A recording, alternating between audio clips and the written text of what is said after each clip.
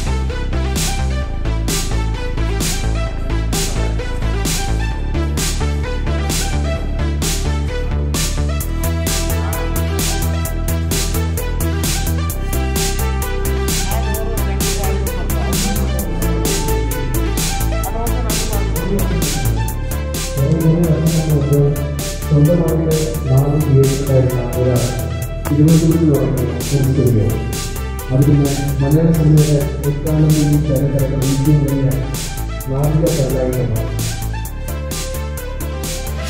ഒരാൾ വരുന്നുണ്ട്.